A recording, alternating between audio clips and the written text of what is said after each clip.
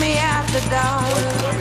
Finally, I can see you crystal clean. Go ahead and sell me out, and I'll lay your ship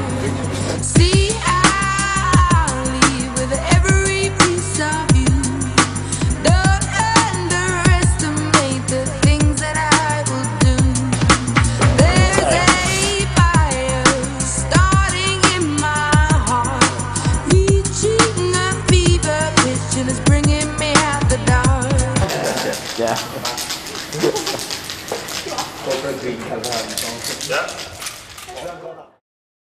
Do you have any regrets at all with your graffiti lifestyle? Absolutely not.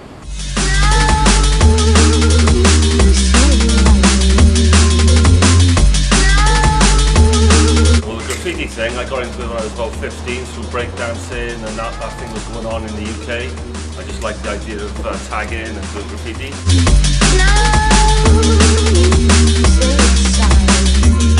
Um, I just like um, simple lettering with a simple fill because it's done, it's done quickly rather than spending too much time on a wall.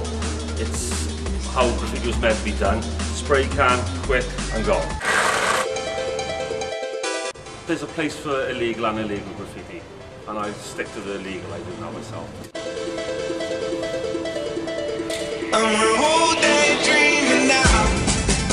Escape to another. Yeah, absolutely, and there's an unwritten law to that. You know, unless you can beat the piece underneath, you can't go over the top of it. So you've got to make sure that you, you know, if that piece is down and it's stood for a couple of weeks and you're going to go over the top of it, yours has got to be pretty much better than the last one has stood. You're welcome.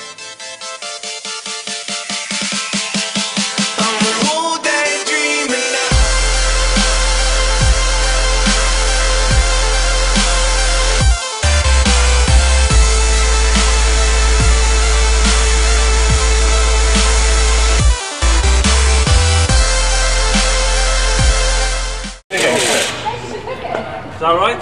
Yeah. yeah.